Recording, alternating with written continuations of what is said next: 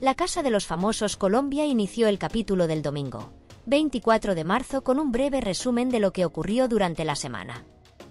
Además, el programa también anunció en sus redes sociales que uno de los famosos ha decidido abandonar la competencia por voluntad propia. Por otro lado, se dieron a conocer los cuatro nominados a la eliminación, entre ellos Julián Trujillo, Pantera y la polémica pareja de Miguel Melfi y Natalie Umaña. Durante su última noche como líder, Culotauro se enfrentó a un dilema al elegir a Pantera para que lo acompañara a la habitación del terror, dejando a Diana Ángel con quien había florecido un romance fuera del beneficio. Después de esto, Sebastián Gutiérrez repasó los diversos momentos que marcaron su vida en la dinámica de La línea de la vida, revelando que nació en San Salvador y posteriormente regresó a Colombia con sus padres. El actor recuerda que a los nueve años se enfrentó al odio de la gente, que le decía que se volviera a su país sin saber que él también era colombiano. Empezó a trabajar en la actuación y entre 2006 y 2008 recibió su primer papel protagonista, descubriendo los diversos caminos que el reconocimiento y la fama le allanarían. Sebastián Gutiérrez, junto a Carla Giraldo y Cristina Hurtado, confirmó que, siguiendo la recomendación del Departamento de Psicología del programa, no podría continuar en la competencia después de haber compartido su historia de vida. Fue la actriz Diana Ángel quien se encargó de recoger sus pertenencias de la casa estudio, lo que generó especulaciones entre sus compañeros, quienes afirmaron que el actor necesitaba encontrar paz fuera del programa. Durante la última ronda de nominaciones, los famosos expresaron sus razones para querer que ciertos competidores abandonen la casa estudio. El primero en hablar fue Culotauro, quien recibió apoyo de Alfredo Redes e Isabela Santiago en su elección de Miguel Melfi como candidato a ser expulsado. Aunque aún desconfía de él, Isabela también señaló a Culotauro como su líder en esta decisión.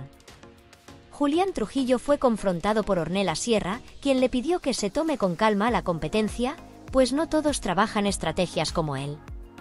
Lo mismo hizo la Segura, quien le recalcó al actor que él no trabaja como estrategia pues no aporta nada a la competencia y no pertenece a su equipo. Otros famosos que compartieron su desacuerdo fueron Karen Sevillano, Sandra Muñoz, Diana Ángel y Juan David Zapata. Respecto a Natalie Umaña, el actor Omar Murillo reveló las razones por las que quería que la actriz ibaguereña saliera de la casa debido a su comportamiento y a la relación que tuvo con Miguel Melfi. La caleña Marta Isabel Bolaños afirmó que, entre ella y su colega, aún hay mucho por conectar tal como sucedió con Mafe Walker.